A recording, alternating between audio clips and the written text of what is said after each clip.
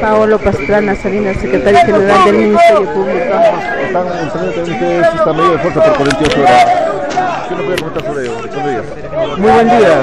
El día de hoy es la segunda jornada de lucha de planeada de dos días de 48 horas que se está acatando a nivel nacional por parte del Ministerio Público y del Poder Judicial de los Trabajadores por, una, por justas remuneraciones, no a la ley de servicio civil y que se nos dé el trato y la preferencia que merecemos a través de la promulgación de la ley de, nuestra propia ley del servidor judicial y el servidor fiscal.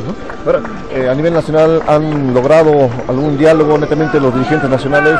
Eh, sí, hemos logrado un pequeño puente eh, con el Ministerio de Economía y sobre todo con el gobierno central, porque esta huelga se centra no contra nuestros empleadores, que son el Ministerio Público y el Poder Judicial, se centra sobre todo en esta, esta, esta falta de diálogo de parte de las instituciones centrales del gobierno, como son el MED, eh, el Ministerio de Trabajo y el mismo gobierno central. Aquí la medida de fuerza es pacífica netamente bueno, sí, como ustedes entenderán, nosotros hemos tomado la medida de, que la lucha, el recorrido de las calles sea lo, más pacífico posible, por encontrar y demostrar de que nuestro reclamo es justo. Nosotros no queremos caprichos personales ni tampoco gollerías, queremos reclamos justos y en este caso un mejor trato. ¿no?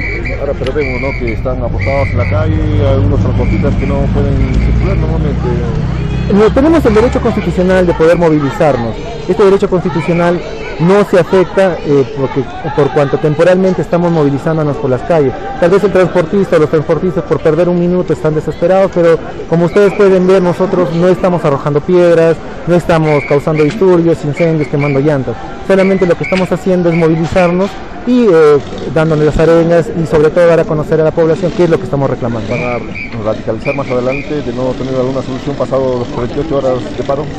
Nosotros, eh, a través de la Federación, tanto del Poder Judicial como del Ministerio Público, ya tomamos la decisión en, la ciudad de Lima.